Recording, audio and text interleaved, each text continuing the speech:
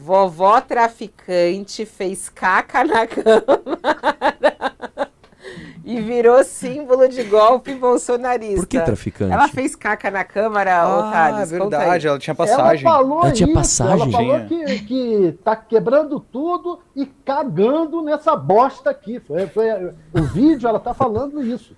Eu, eu tô quebrando tudo e cagando nessa bosta aqui. Aí depois que ela falou que Era vai uma mulher que- o que- Xan- Xandão, É. né, que pode- vou Mas tem uma, que é uma mulher, tem um que é um Ah, cara, eu não é? São dois. Não, mas é- Agora, tá virando Ó. símbolo. é, Quer ver? Eu vou achar o vídeo dela. É eu não quero ver o comentário dele, quero É, ver eu o que não sei porque rolou. mandaram isso, mas ó, é que na verdade... Cuidado pra não derrubar a live, hein, meu. Porra, Toma cuidado, Perdão, vai pôr nudez na live aí. Não, não, não. Então, é, é- essa vovó, ela é uma vovó melhor do que aquele cara. Ela é uma vovó traficante? Não, que- ela, ela, o crime dela foi ter ido no banheiro do Xandão, cara. Tipo, ela... Foi isso. Ah, eu vi esse vídeo. Ah, que ela saiu, o é. cara fala, é, você foi lá, né, já cagou. E ela avisou pra todo mundo, eu vou cagar no banheiro do Xandão. É. Você que bolsonarista tem com cocô, né, cara? O Bolsonaro, quando ele ia mostrar os hotéis dele, que ele ficava, ele apontava o vaso, você já percebeu isso? Aqui o quarto que eu fiquei, aqui o banheiro, e ele apontava o vaso, assim. Tipo, caguei aqui, tá ok? Por que, que ele fazia isso, mano? Quer ver, ó. Põe aí, põe aí. Aqui, pessoal, Dona Fátima. Peraí, peraí. Vai, Mel. Deixa eu botar na tela aí. Deixa eu Vai, Mel. Mel. A dona Fátima. Aqui, pessoal, Dona Fátima, de Tubarão, Santa Catarina, 67 anos. Tá quebrando tudo! Quebrando tudo e cagando nessa bosta aqui! Cagou lá no banheiro, fez uma sujeira lá. Isso aí, Dona Fátima, Deus abençoe a senhora. Guerra! É guerra! É isso aí. É guerra. É guerra, vou cagar no banheiro do Xandão. cara, que coisa esquisita, cara. Que coisa esquisita. Ela tem passado. Sabe o que ela me lembrou? Uma vez tinha uma. A Lilian Whitfib. Foi a Lilian Whitfib? Foi a Lilian Whitfib. Ela tinha que dar uma notícia que uma senhora foi pega com não sei quantos comprimidos de êxtase.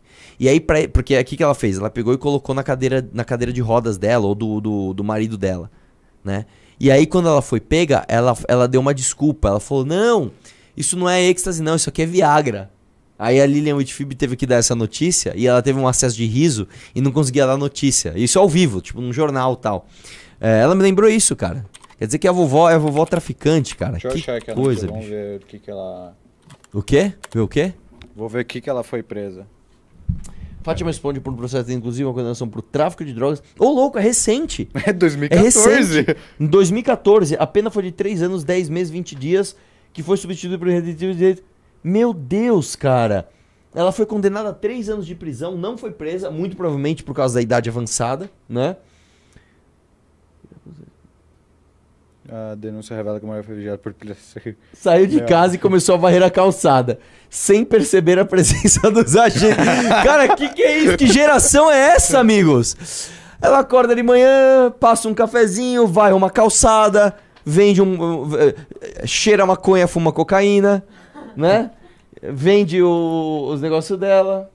Depois começou a atender usuários de droga, incluindo um adolescente. Cidadão de bem. Cidadão de bem, amigo. Não, olha isso daqui. Em outro caso, denúncia do Ministério Público de Santa Catarina detalha que Fátima responde por falsificação de documentos e estelionato. O que, que essa mulher não faz, mano? Meu Deus do céu, cara. O processo narra que ela falsificou Cidadã de bem. bem. Aí, ó. Aí, ó. Vai dizer que é infiltrado. Não é infiltrado, ela é petista. Na verdade, ela é infiltrada. Olha lá. Ah, ela basicamente assinava plano telefônico com o nome de outra pessoa. Meu Deus do céu, cara. Que coisa.